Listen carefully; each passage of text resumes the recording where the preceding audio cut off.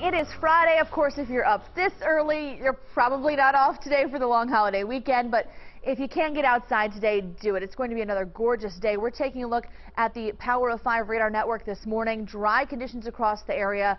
A lot of clear skies overnight. Some places, some clouds have already started to filter in. And as we head through the day, a very weak system will be moving through. For most of us, the only thing you'll notice are the clouds filtering in.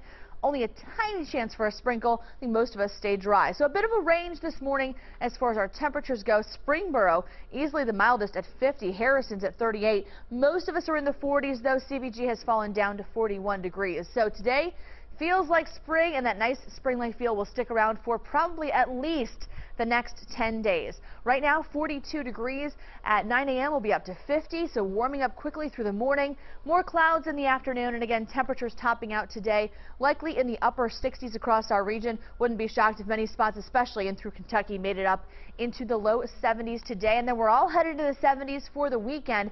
Take a look at our futurecast. No big problems. A few more clouds as we head through the afternoon hours for sure. And again, a weak front will pass us by this evening. Futurecast barely tries to even pull out a blip on the radar. So I think we're dry as this thing passes us by into the evening hours and skies clear out, leading to a gorgeous weekend. Today is 68 degrees for the high. Expect some clouds, but staying very mild.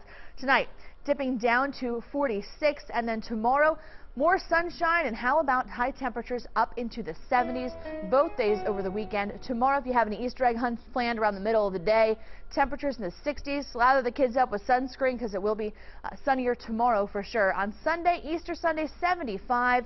In the morning for early morning services, close to 50. And then by lunchtime, we're hitting 70 and not looking back. It's going to be really nice for the holiday. Monday, late in the day, rain showers move in. They're gone by early Tuesday and temperatures stay mild, guys.